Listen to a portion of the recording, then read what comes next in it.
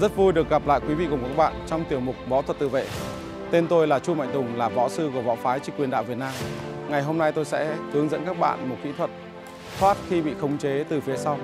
Như các bạn biết thì à, khi mà chúng ta à, chẳng may mà gặp cái sự vật sự việc bị va chạm thì à, chúng ta bị tấn công bằng cách là có một người sẽ lao ra ôm chúng ta từ phía sau và tiếp tới là có vài người ở phía trước sẽ tấn công chúng ta. Thì ngày hôm nay tôi sẽ hướng dẫn các bạn cái kỹ thuật để làm sao mà chúng ta thoát được khi bị khống chế từ phía sau để chúng ta có cái sự chuẩn bị để đối kháng với những người phía trước. Mời các bạn đến với cái tình huống thực tế. Bất ngờ chúng ta bị ôm về phía sau, các bạn hãy xem cái kỹ năng hóa giải của tôi. À! Khi đối phương khống chế từ phía sau, chúng ta sẽ hạ thấp cơ thể để tránh thoát được cái khóa tay của họ. Tiếp tới, chúng một tay phải chúng ta giữ vào tay phải của họ để không cho chạy họ thoát và cơ thể của chúng ta xoay sang để tiếp tục cái cùi trỏ chúng ta sẽ đánh vào bụng và hạ bộ của họ. Chúng ta luồn qua lấy chúng ta luồn qua lách của đối phương. Và tay trái của chúng ta đấm vào mang tay của đối phương. luôn tay sang tay phải để khóa tay của họ và khóa cổ của họ. Tiếp tới, lên gối vào mặt của đối phương. Hạ trọng tâm xuống và đánh vào gáy của đối phương. Các bạn chú ý là hai khỉu tay của chúng ta đưa sang tạo hình chữ V với cả cơ thể của chúng ta. Các bạn thấy cái tay của họ bắt buộc phải nhắc lên dù chỉ là một chút. Lúc đó cơ thể của chúng ta thoải mái hạ xuống thật nhanh. Đó là chúng ta lại thoát.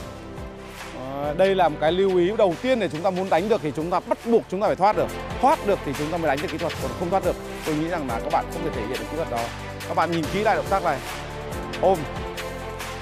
Và chúng ta đưa hai kiểu tay ra hình chữ V hạ người xuống rất nhanh.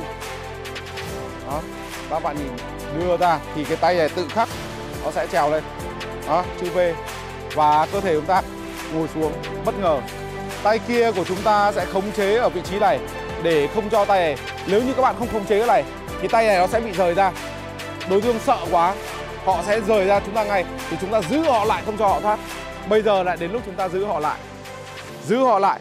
Đó, và chúng ta xoay người sang để cho thoát khỏi cơ thể để cho tay của chúng ta có thể hoạt động được. Thật ra thì ở vị trí này các bạn có thể đánh vào hạ bộ đối phương quánh vào mặt đối phương.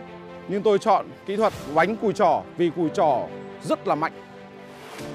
Và chúng ta sẽ đánh vào vị trí ngực của đối phương à, khiến đối phương khó thở tức thở ngay tại chỗ. Thì chúng ta sẽ luồn tay qua luồn tay qua tay của đối phương và tay này chúng ta vẫn giữ để không cho đối phương bị rơi ra. Và tay này chúng ta đấm đấm thẳng. Ta! Đấm thẳng vào mang tay khiến đối phương choáng váng. Phần đầu, phần mang tay là cái, là khi chúng ta đánh vào thì họ sẽ bị choáng. Thì các bạn phải làm choáng họ. Khi chúng ta lên gối, đối phương lẩy lên. Và kết thúc cuối cùng của đòn đòn đánh này là chúng ta nhấc cả cơ thể chúng ta lên, quánh thẳng, dùng cùi trỏ chúng ta quánh thẳng vào gáy của đối phương khiến họ gục luôn tại chỗ.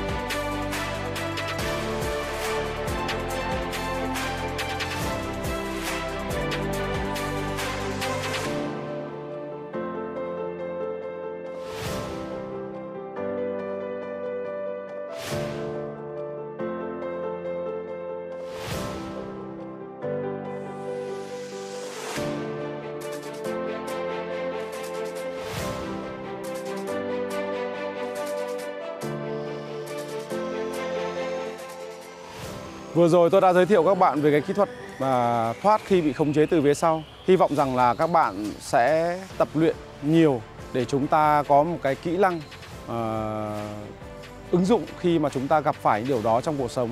Xin chào và hẹn gặp lại quý vị trong những số tiếp theo. Nhiều. Chào.